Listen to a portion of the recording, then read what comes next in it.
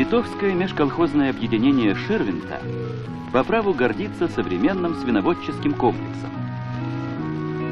Здесь и замкнутый технологический цикл выращивания и откорма поросят, и механизация всех трудоемких процессов, и цеховая организация труда, и, конечно же, прочная кормовая база. Поземные площади Ширвинта обеспечивают потребности комплекса в грубых кормах, силосе, корнеплодах.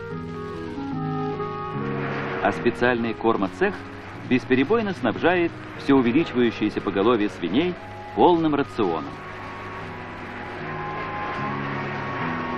Есть в хозяйстве и экспериментальный цех хлореллы, богатого белком кормового продукта, не требующего больших затрат и особо сложной технологии производства.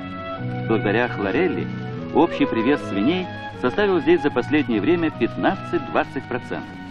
В Литве давние традиции животноводства. Во все времена славилась она своим беконом. Сегодня производство свинины здесь поставлено на научную и промышленную основу.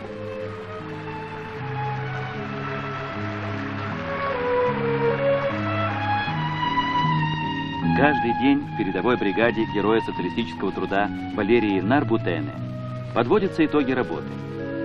Забот хватает, участков много и все важные. Руководит хозяйством Василий Степанович Дорофеев, депутат Верховного Совета Литовской ССР. Фермы на пороге зимы, и хорошо подготовиться к ней значит сделать новый шаг в реализации продовольственной программы страны.